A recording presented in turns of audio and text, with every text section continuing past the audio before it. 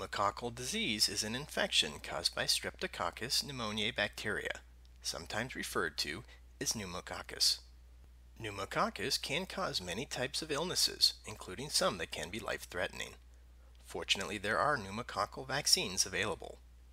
Pneumococcus is one of the most common causes of severe pneumonia. In addition to causing pneumonia, pneumococcus can cause other types of infections too, including ear infections, sinus infections, meningitis, and bacteremia. Some of these infections are considered invasive. An invasive disease means that germs invade parts of the body that are normally free from germs. For example, pneumococcal bacteria can invade the bloodstream, causing bacteremia, and the tissues and fluids surrounding the brain and spinal cord, causing meningitis.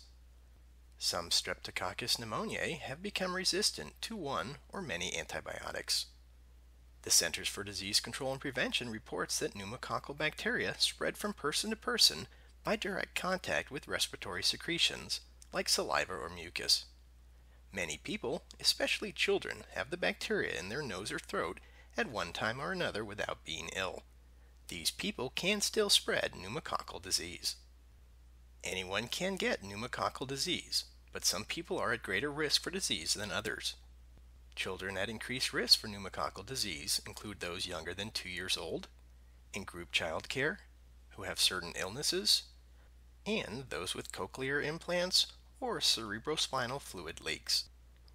Adults 65 years or older are also considered to be at increased risk for pneumococcal disease. In addition, some adults 19 through 64 years old are also at increased risk, including those with chronic illnesses, with conditions that weaken the immune system, living in nursing homes or other long-term care facilities, those with cochlear implants or cerebrospinal fluid leaks, and those who smoke cigarettes. These are just a few things to know about pneumococcal disease and Streptococcus pneumoniae. To learn more about this or other microbial pathogens, indoor air quality, health and safety, occupational, or environmental issues, please visit the website shown on the screen.